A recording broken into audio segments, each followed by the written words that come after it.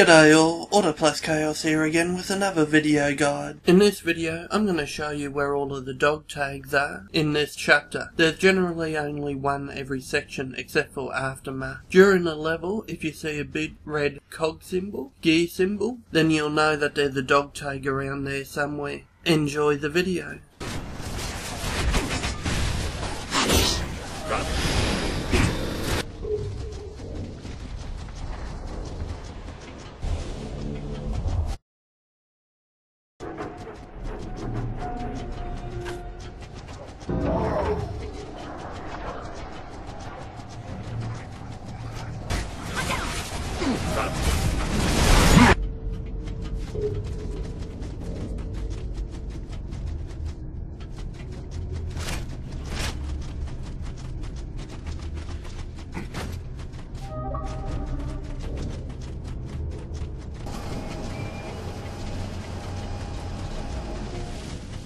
Got him.